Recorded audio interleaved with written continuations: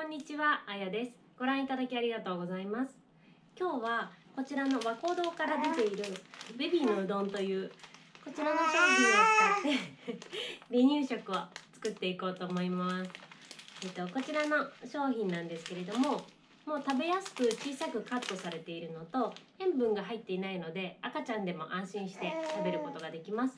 では早速作っていこうと思います。